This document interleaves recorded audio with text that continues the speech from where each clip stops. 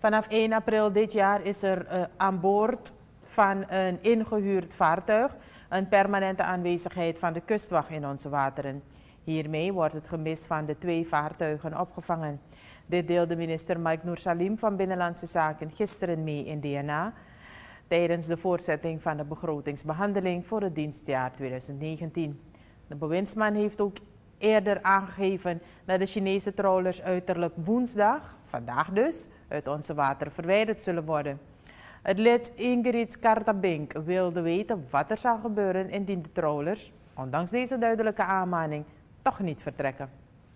Voorzitter, um, gisteren heeft de minister ons meegedeeld dat de visfabriekschepen tot en met woensdag de tijd hebben zich te verwijderen uit onze wateren. Maar voorzitter, wat als wij donderdag deze schepen of trawlers nog op onze wateren zien? Kan de minister ons vertellen wat zijn volgende stap zal zijn? Duidelijk aangeven. Twee, uh, voorzitter. Um, ik heb een verduidelijking nodig ten aanzien van namen van plaatsen in mijn district Kommerwijnen. Opmerkelijk is, voorzitter, dat de plaats Tamansari, het naambord, we niet meer zien. Is er wijziging plaatsgevonden in het district Kommerwijnen in het resort Meerzorg? Want we zien wel Richelieu en andere, maar Tamansari zien we niet. En wanneer de bewoners aan de hoofdweg een uittreksel haren, is Tamansari wel te vinden. Is er een wijziging plaatsgevonden? Naamborden van plaatsen of uh, dorpen, dat een, een prerogatief is van het ministerie van Regionale Ontwikkeling. Dus plaatsen hoor, en wij doen straatnamen, maar het ministerie van RO die is belast met uh, dat van plaatsen en dorpen. Um, uw bezorgdheid ten aanzien van wat, er, wat als, um, nou, wat als de schepen um, morgen niet vertrekken. Wij zouden dan, we hebben nog geen reactie gehad, we zouden een reactie moeten krijgen en aan de, hand daarvan kan ik uh, daarop anticiperen en niet nu um, op iets dat nog niet gebeurd is.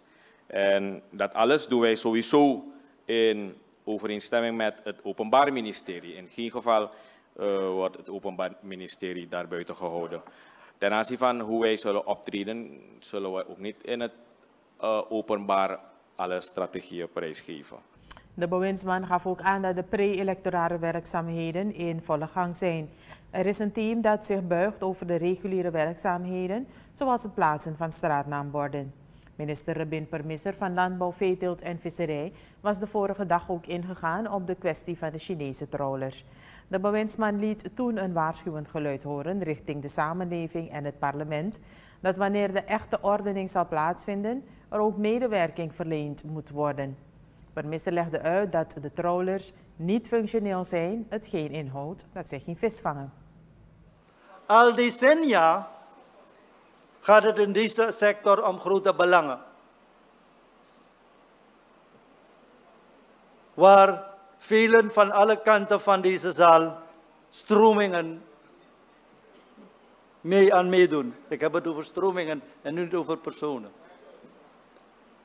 En wanneer het moet geordend worden, maar wanneer we dat goed ordenen en LVV is op spoor, dan ga ik u bij deze ook, en dat doe ik nu, uw ondersteuning vragen.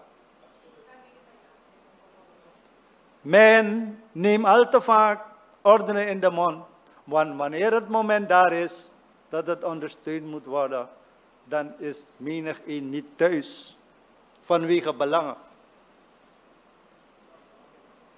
In dat opzicht wordt er nu al voorbereid de grensbewaking. En mensen die de visserijsector kennen, weten het belang van de grensbewaking.